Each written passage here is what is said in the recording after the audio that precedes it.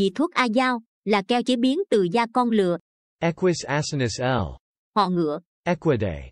Phương pháp chế biến. Công thức chế biến 1 kg vị thuốc A Giao. A Giao 1 kg. Cách phấn hoặc bột mẫu lệ 200 g. Lấy khăn giải sạch lau cho hết bẩn, hôi qua lửa hoặc để trong tủ sấy ở 100 độ C cho mềm. Chú ý không để miếng A Giao chảy dễ dính vào nhau, thái nhỏ mỗi miếng có kích thước khoảng 0,5 x 0,5 cm. Cho cấp phấn vào chảo, sao cho nóng rồi bỏ các miếng A dao vào, sao cho đến khi A dao nở hoàn toàn, không còn chỗ cứng, rây bỏ bột cáp phấn. Đặc điểm cảm quan dị thuốc. Miếng dị thuốc A dao phòng đều, không còn chỗ cứng, không chảy hoặc dính vào nhau.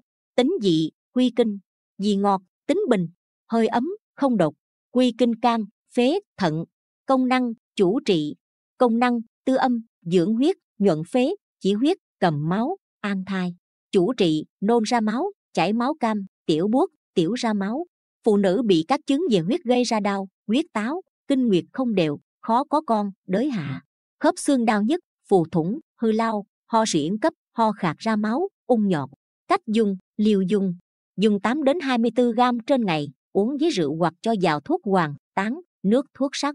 Kiên kỵ, không dùng cho trường hợp tỳ dị hư, ăn uống không tiêu, nôn mửa, có hàng đàm, lưu ẩm. Không dùng chung với vị thuốc đại hoàng, bảo quản, để nơi khô ráo, thoáng mát, tránh mối mọt, nấm mốc.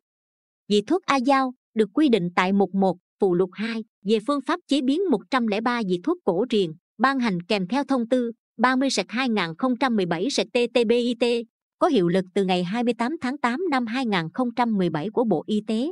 Linh Dược Thuần Diệt xin giới thiệu đến quý vị để tham khảo, sử dụng vị thuốc quý cho phù hợp theo quy định của Bộ Y tế. Những lưu ý khi sử dụng thuốc y học cổ truyền.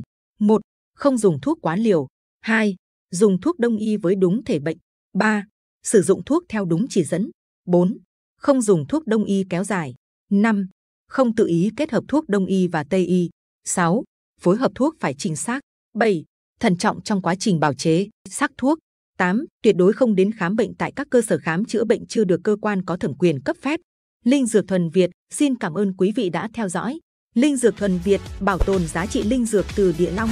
Hãy theo dõi kênh Linh Dược Thuần Việt để xem thông tin mới nhất về Địa Long.